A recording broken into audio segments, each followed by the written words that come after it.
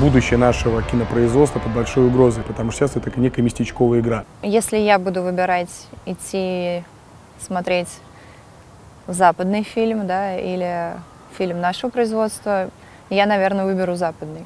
Наш российский кинематограф потерял ту изюминку, которая была вот именно в советском кинематографе.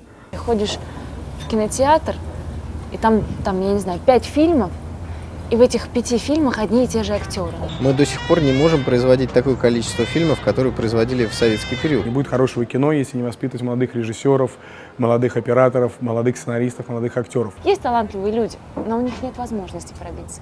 Последние 20 лет мы пытаемся угнаться за Голливудом. Вот как фильм был «Доживем до понедельника», вот такие фильмы нужно делать.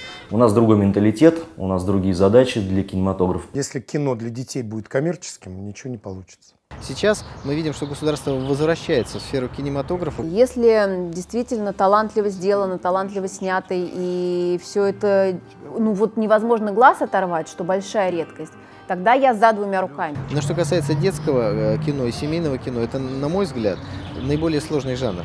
Поэтому нужно просто больше внимания государству уделять. Что были кинотеатры во всех жилых массивах. На каждые 100 тысяч жителей должно быть один-два кинотеатра.